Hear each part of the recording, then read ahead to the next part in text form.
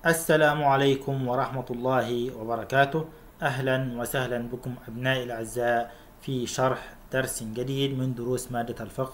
اليوم إن شاء الله سندرس آه، البرنامج اليومي الثالث.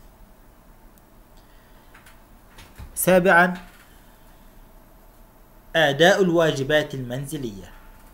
من الأشياء المفيدة التي لا بد أن أفعلها وهو آداء الواجبات المنزلية. عندما يكون علي واجبات منزلية هل أطلب المساعدة من أحد من أحد أفراد أسرتي؟ أم أؤديها بنفسي؟ أم أؤديها في المدرسة نقلا عن غيري؟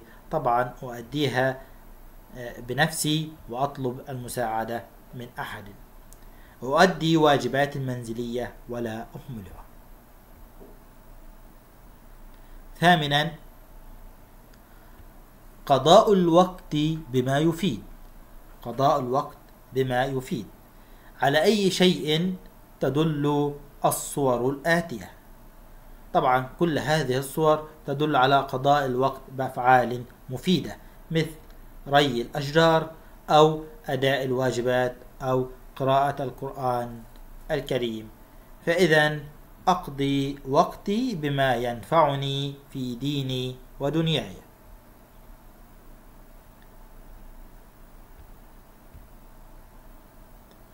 أتعاون مع مجموعتي في ذكر الأشياء المفيدة التي نقضي بها وقتنا بعد الانتهاء من آداء الواجبات مثل مساعدة الوالدة في ترتيب المنزل.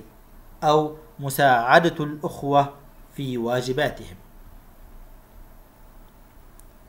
تاسعا خدمة الوالدين ومصاحبتهما عند زيارة الأقارب كيف أخدم والدي؟ كيف أخدم والدي؟ طبعا أن أنفذ طلباتهما أن أعمل على راحتهما قدر استطاعتي أن أحسن لهما أن أبتعد عما يغضبهما. قال الله تعالى في كتابه العزيز وقضى ربك ألا تعبدوا إلا إياه وبالوالدين إحسانا. في الآية الكريمة أمران عظيمان قرن الله بينهما قرن الله بين عبادة الله وحده وقرن بين إيه؟ الإحسان إلى الوالدين. قرن الله بين عبادة الله وحده والإحسان إلى الوالدين. نشاط واحد. طلب الأب من ابنه عبد الملك أن يرافقه في الذهاب لزيارة جده فماذا عليه أن يفعل؟ هل يوافق ويذهب معه؟ أم يفضل اللعب على على على الذهاب معه؟ طبعا يوافق ويذهب معه لأنه من الإحسان إلى الوالدين وأيضا صلة الرحم. ما الآداب التي ينبغي أن أتأدب بها عندما أزور أقاربي؟ أولا لا أفسد ألعاب أبنائهم لا أرفع صوتي ولا أحدث جدة وأحافظ على أثاث المنزل ولا أعبث به.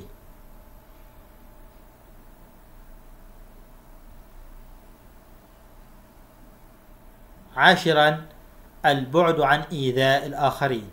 كل هذه الصور تدل على إيذاء الآخرين. فالصورة الأولى تدل على أن هذا الولد يطرق الباب بحجر فكيف ذلك؟ طبعا يؤدي إلى تشويه أو كسر الباب. هذا يهدر الماء. هذا هدر للماء. هذا يكتب على الجدران. فهذا يكتب على الجدران فهذا سلوك خاطئ. وهذان يتشاجران مع بعضهما. طبعا المشاجرة بين شخصين. كل هذه السلوكيات سلوكيات خاطئة. ما رأيك في هذه السلوكيات؟ طبعا كلها سلوكيات خاطئة. إلى هنا أبناء الأعزاء نكون قد انتهينا من درسنا وإلى لقاء في درس